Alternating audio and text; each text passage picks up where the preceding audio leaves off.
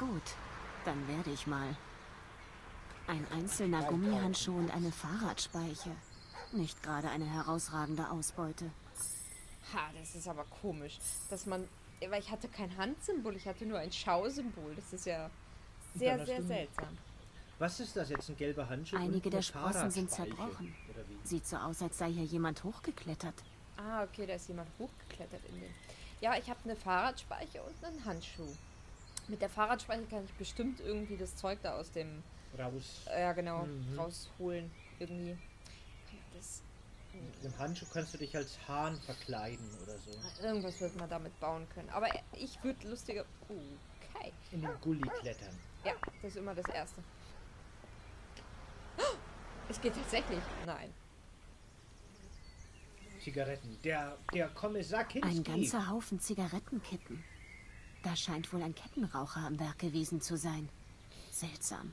Dabei ist doch mein Vater ein so strikter Nichtraucher, dass er seinen Gästen sogar verbietet, irgendwo auf dem Grundstück zu rauchen. Okay, aber wenn ich ganz kurz anmerken darf, da liegen Filterzigaretten und entweder Zigaretten ohne Filter oder Zigaretten mit weißen Filter, die sehr weit nach hinten geraucht wurden. Ich weiß es nicht. Aber das sieht so aus, als hätten da zwei verschiedene Leute geraucht. Das stimmt, man hat nicht zwei verschiedene. Man hat nicht, Nee, oder? also die meisten zumindest nicht. Okay, versuchen wir mal. Nein. Okay. Kannst du mit dem Zigarettenstummel. Handschuh. Ah, ich habe jetzt sehe ich erst, dass mir oben angezeigt wird, was da. Ha, das ist es. Nee, mit den Handschuhen. die Zigarettendinger aufheben, Ja. damit du keine Fingerabdrücke verwischt oder so. Nee. Na gut, okay. Dann gehen wir hier erstmal wieder raus. Offensichtlich können wir da noch nichts machen. Dann schauen wir uns mal das Auto an.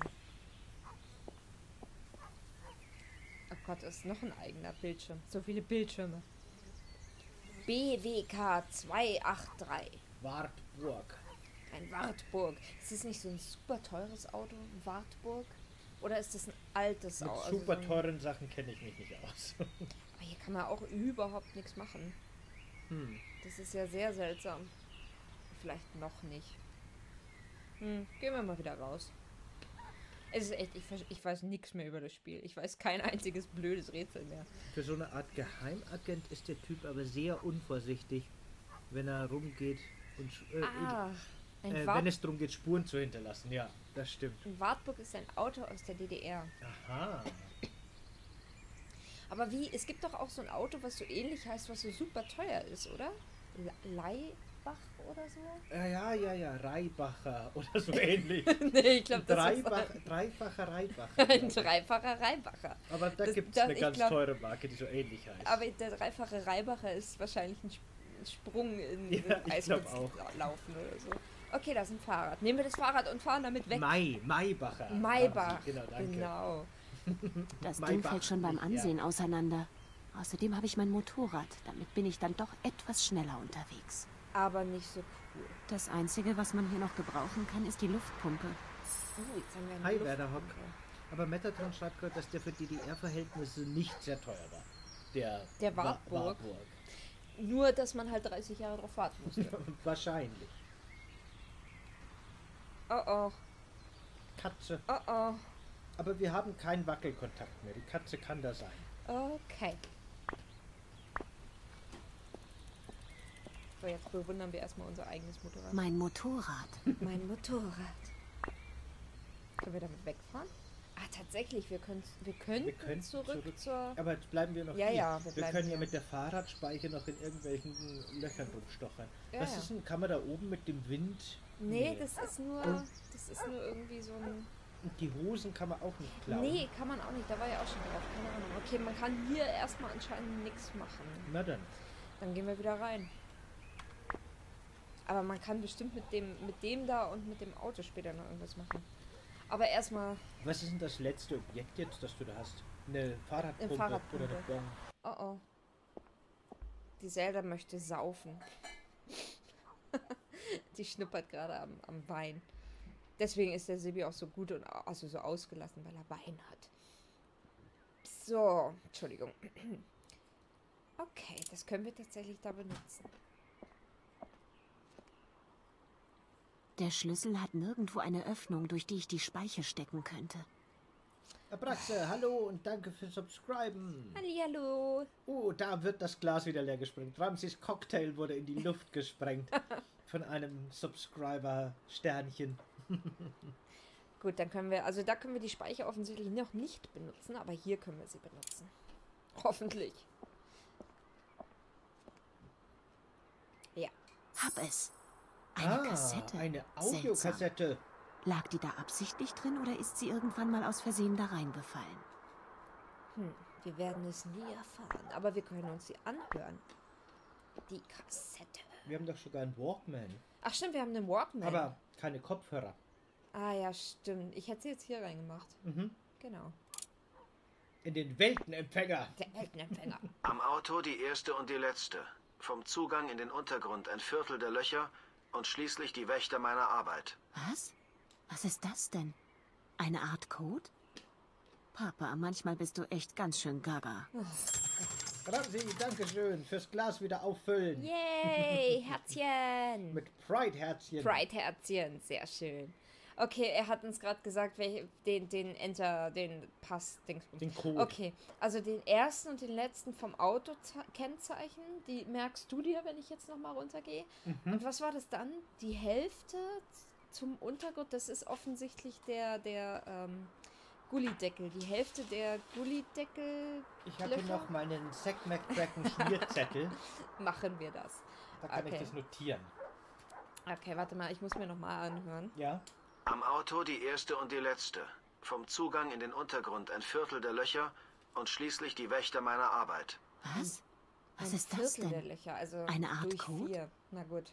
Papa, manchmal Aber bist du echt ganz schön Die Wächter seiner Arbeit sind die zwei Statuen. Die zwei dann einfach. Zwei, oder ja. wie? Ja, ja. Okay. Na, Sie hat doch gesagt, irgendwie hier so komische Figuren von Die, ich den... weiß schon, die Echsen. Also hätte ich jetzt gemeint. Na gut, dann schauen wir mal beim Autokennzeichen. Beim Autokennzeichen, okay. Also wir müssen jetzt eh erstmal wieder runter. Runter. Ich mag so Adventures. Ich finde das auch toll. Deswegen habe ich ja gesagt, lass uns das zusammen spielen, weil so trashig und altes Spiel auch ist, ich finde das schön. Ich finde das gar nicht so trashig eigentlich. noch nicht. Na noch gut, nicht. okay. Na gut, okay. Das wird noch besser. Also zwei, drei. Ah, okay, ja genau. Da muss ich zumindest. Nein, nicht mehr rangehen ans Auto. Und hier müssen wir jetzt zählen. Warte mal, ich mach das mal größer.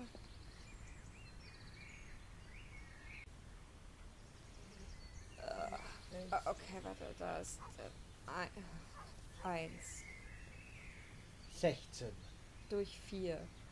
sind, sind vier. Vier. Gott. Und zwei.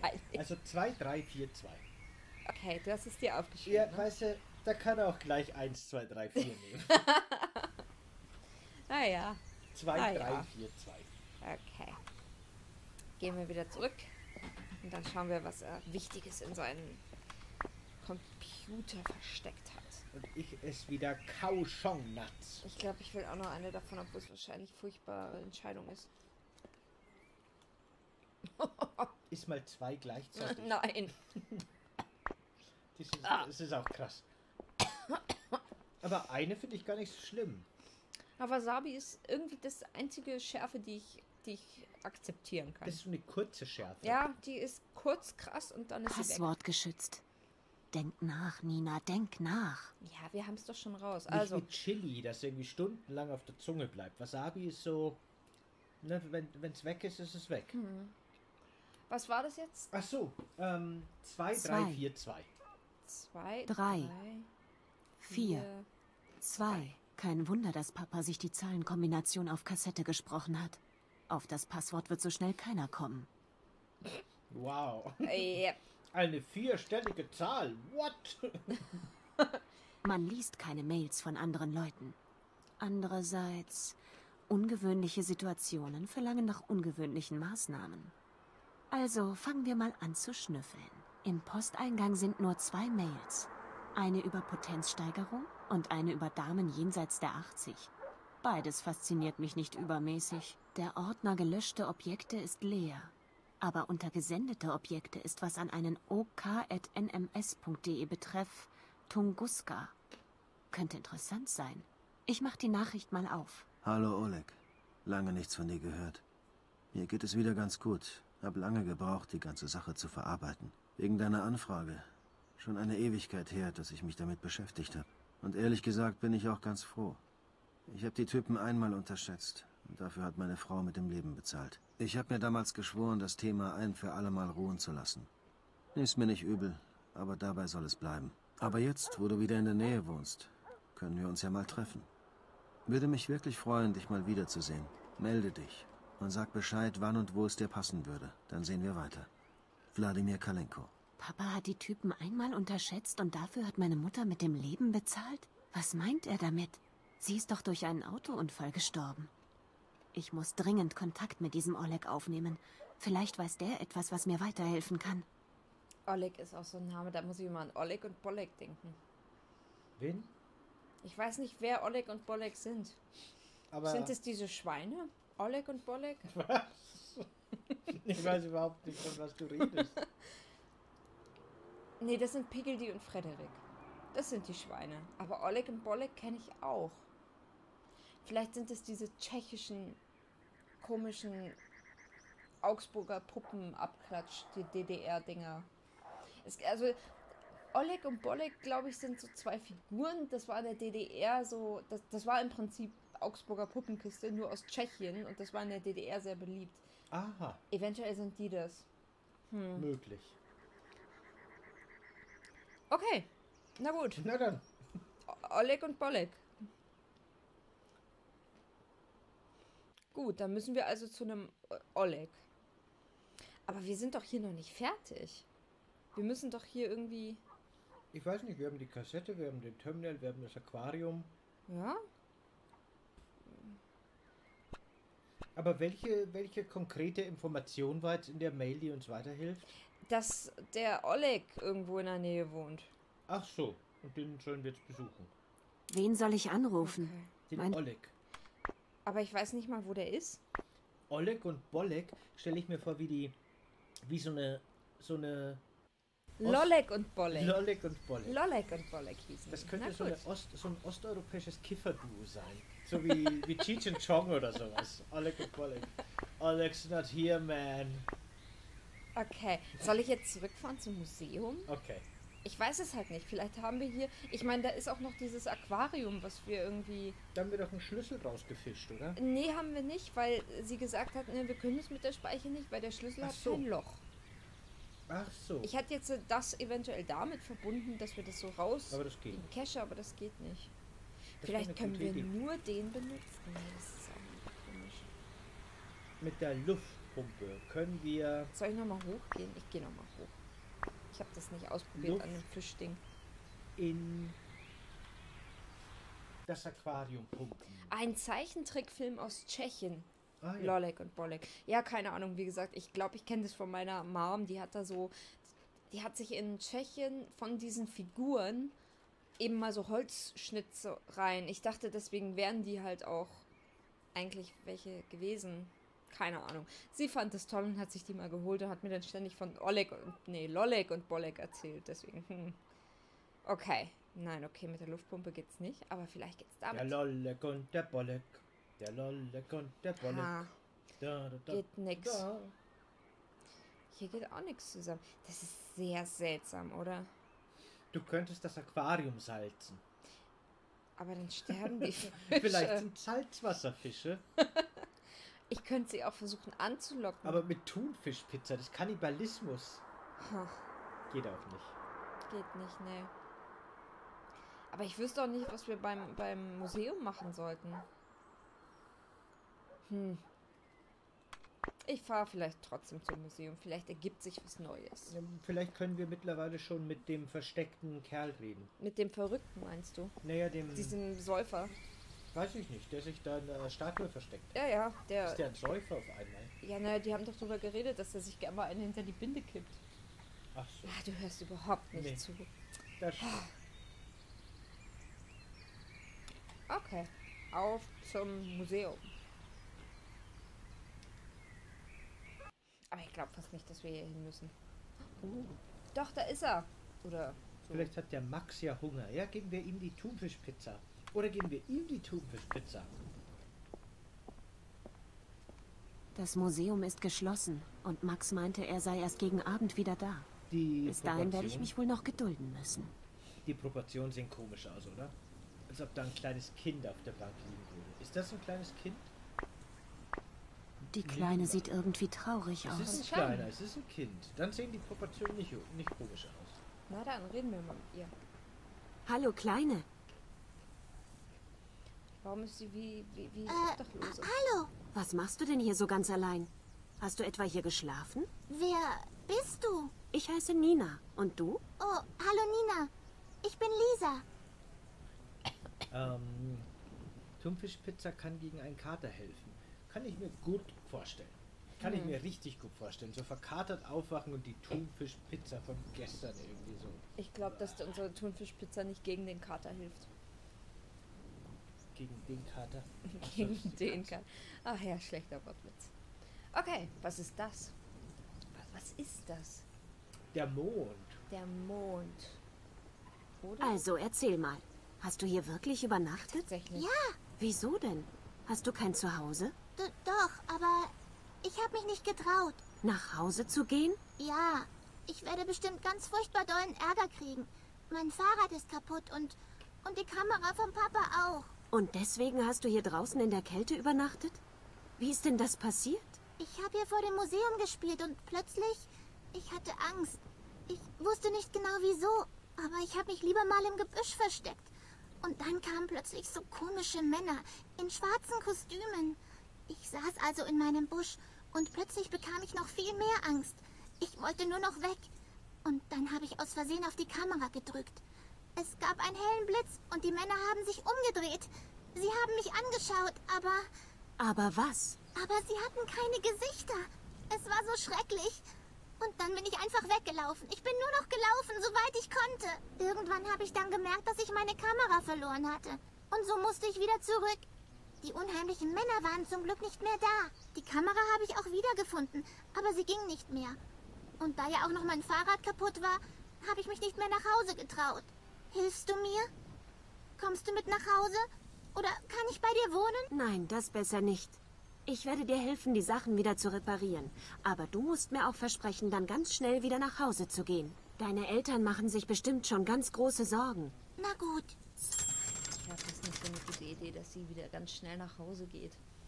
Wenn ein kaputtes Fahrrad und eine kaputte Kamera genug Grund ist, dass ein kleines Kind, was Angst hat. komplett, komplett verängstigt ist, weil sie gerade Männer ohne Gesicht gesehen hat, trotzdem lieber draußen schläft, als wieder Lieber- nach Hause zu Sie gehen. schläft lieber da, wo sie die Männer ohne Gesicht gesehen hat, als dass sie heim zu ihrem Vater geht. Da würde ich mal vielleicht Ja. das Jugendamt so ein bisschen informieren. Ja, es ist ein bisschen problematisch, glaube ich. Ich würde jetzt nicht sagen, du versprichst mir aber ganz schnell wieder nach Hause zu gehen. Naja. Was ist denn mit deinem Fahrrad? Ich glaube, ich bin in so eine blöde Scherbe bei der Baustelle gefahren und nun habe ich einen Platten. Dabei ist das Rad ganz neu und meine Mutter hat extra gesagt, ich soll gut darauf aufpassen, weil wir haben nicht so viel Geld, weißt du? Und da können wir uns kein neues Fahrrad leisten.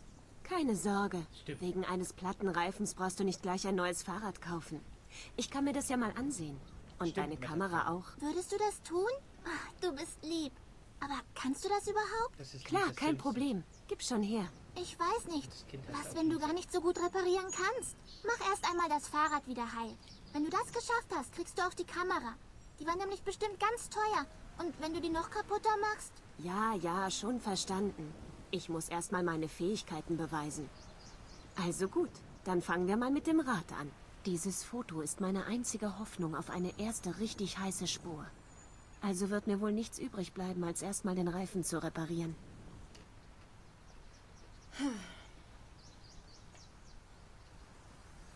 Lisa Simpson. Abraxe, Dankeschön. Super viele, Dankeschön. super viele, super schwere Kleeblätter, die das. Glas sprengen. Voll cool. Yay. Zeig doch mal deine Wow. Kamera her. Erst mein Fahrrad reparieren. Du bist ganz schön hartnäckig. Ja, das sagt meine Mami auch immer. Recht hat sie. Okay, Bis Okay. später. Aber du kommst wieder, versprochen? Klar, mach dir keine wir gehen gar Sorgen. nicht weg. Wir nehmen jetzt die Luftpumpe und die Fahrradspeiche Genau. und schweißen die neue Speiche mit der Luftpumpe in das Rad. Der Schlauch hat ein Loch. Der Oh Schlauch oh. hat ein Loch. Wir haben kein Flickzeug. Ich werde mal den Schlauch ausbauen. Oh, wir können vielleicht den Schlauch mit dem Gummihandschuh kombinieren. Ah, ja, das Ein macht Sinn. alter, labbriger Gummihandschuh. Ah, okay. Nee. Nee. Wir brauchen wahrscheinlich erst irgendwas Klebriges. Aber vielleicht kann ich die Speiche da... Nein. Die Luft... Äh, die brauche ich wahrscheinlich später. Na gut, okay. Offensichtlich können wir hier jetzt noch nicht... Wir brauchen was Klebriges. Dann gehen wir ins Museum.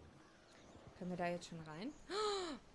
Haben Sie! Dankeschön für die Grabsteine. Ist das ein dezenter Hinweis? Das Museum ist geschlossen und Max meinte, er sei erst gegen Abend wieder da. Bis dahin werde ich mich wohl noch gedulden müssen. Das Glas geht über vor lauter Tod. Vielleicht... Nee, Willst du den Schlauch noch mehr zerschneiden? ganz genau. Jetzt ist auch schon egal. Was soll's? Ähm, mit ihr nochmal reden? Ich weiß jetzt gerade nicht, was ich so richtig machen soll. Oh, hallo Nina. Hallo, deine Reparaturarbeiten sind so gut wie erledigt. Na gut. Ja, ja, so gut wie erledigt. Können wir nicht einfach Motorradreifen geben? Hm. Hier ist aber sonst auch nichts weiter, oder? Ich meine, das ist ein Point-and-Click-Adventure. Suchen wir mal den Alkoholiker-Kerl, der sich in der Statue versteckt hat. Wahrscheinlich hat der Upsala. zufällig Flickwerkzeug in seiner Hosentasche irgendwo. Oh, wir haben, stimmt, wir haben ja hier noch. Kleine Lisa hat gerade. Bla Nee, okay.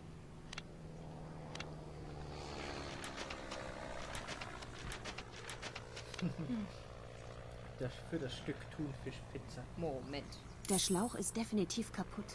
Da kommt irgendwo Luft raus. Ich müsste nur rausfinden, wo. Okay, sie hat den Ah. jetzt. Äh, sie hat den anscheinend aufgeblasen bevor das Loch. Aha, und jetzt mit dem Keine Handschuh. Ahnung, ob der Gummihandschuh als provisorisches Flickzeug funktionieren würde. Ihn einfach so in den Schlauch reinzustopfen, wird aber auf jeden Fall nicht reichen. Schade. Ah, Dann versuch irgendwo Wasser. mal Keine Ahnung, durch. ob der Gummihandschuh. Nimm doch einfach mal den Schlauch und geh mal alles ab.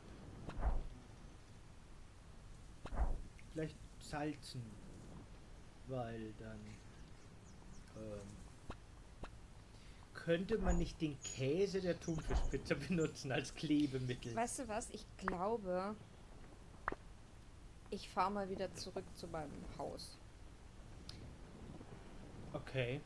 Ich glaube nämlich, weil hier haben Schlauch wir mit Aquarium, sagt Mhm. Metatron. ganz genau. Dann sieht man, wo es Wasser. rausblubbert. Ganz genau. Ja, aber da, da ist doch ein Gitter Ja, drüber. eben, deswegen weiß ich jetzt auch nicht. Aber ich, das hätte ich jetzt auch mal gedacht, Okay. dass hier im Haus irgendwo Dann was mit wir das. Wasser ist. Hm, es geht zumindest. Dass man es anklickt. Ich komme mit dem Schlauch nicht durch das Gitter. Aha. Hm. Dieses blöde Gitter. Dieses Gitter muss man doch irgendwie raushebeln können. Der Schlüssel hat nirgendwo eine Öffnung, durch die ich die Speiche stecken könnte. Damn it. Ha ha ha.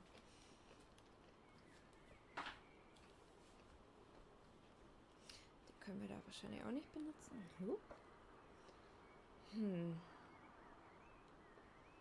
Was machen wir denn jetzt? Wie schwer kann es sein, von so einem Aquarium den Deckel abzunehmen? Ja, Ist das ein Hochsicherheitsaquarium? Vielleicht. Sind es schwer kriminelle Fische da drin? schwerkriminelle Fl- die, die, die, die Gangsterfische. Man sollte meinen, dass das Haus ein Badezimmer hat, sagt Metatron. Das stimmt. ja.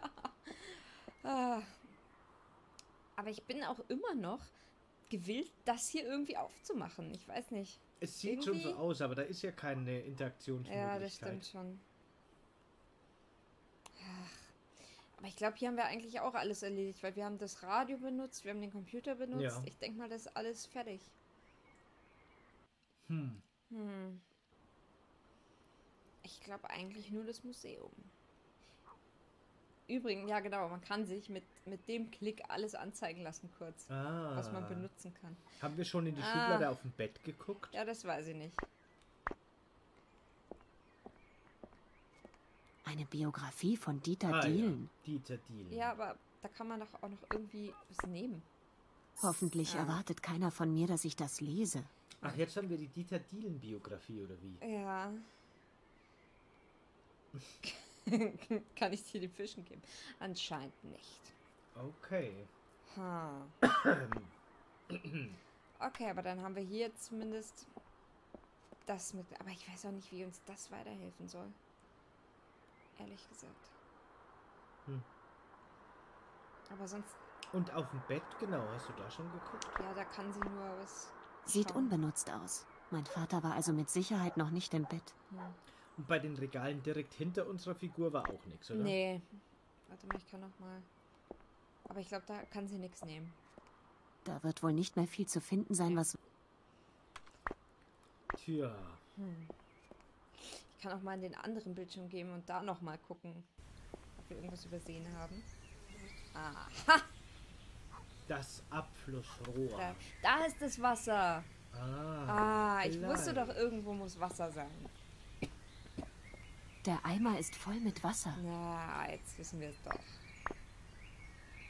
Huch, der Griff ist einfach abgerissen. Zumindest blieb der Henkel trocken. Jetzt haben wir auch noch einen Griff gefunden. Und den können wir doch bestimmt mit irgendwas kombinieren, um dann den Schlüssel Oder im rauszuholen. Aquarium, direkt mit dem Griff. Genau. Oder so, ja. Ich werde den Schlauch mal ins Wasser halten und beobachten, wo Luftblasen aufsteigen. So, hab das Loch gefunden und die Stelle markiert. Das ist so ein typisches Adventure-Rätsel. Jetzt können wir das Keine dann- Ahnung, ob der Gummihandschuh als provisorisches Flickzeug noch funktionieren würde. So. Ach, na gut. Dann brauchen wir jetzt den Schlüssel, glaube ich, erstmal. Weil wahrscheinlich können wir mit dem Schlüssel irgendwie doch an dem, an dem Schreibtisch noch irgendwas aufmachen oder so und da ist dann Kleber drin. Aber warte. Mit dem Teil. Hm. Nein! Damn it! Hm. Das ist ja doof.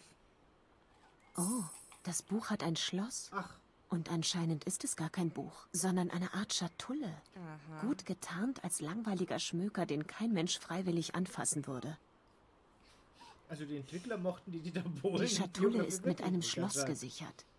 Der Schlüssel dürfte ziemlich flach sein, sodass der übliche Haarspangentrick wohl nicht funktionieren wird. Ah, okay. Da, im Prinzip, da ist der Schlüssel für das da drin. Bestimmt. Aber wie kriegen wir das da raus? Damn it. Ich hätte ja, irgendwie muss doch die Speiche da funktionieren. Aber,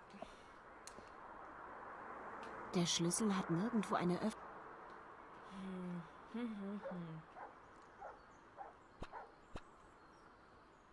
Aber wenn der Schlüssel keine Öffnung hat und nichts, brauchen wir vielleicht irgendwie was Klebriges oder Magneten, einen Magneten. Können wir, ist in, ist in einem Walkman ein Magnet? Nee. Hm, na gut. nee, da waren wir auch schon. Da waren wir. Ha.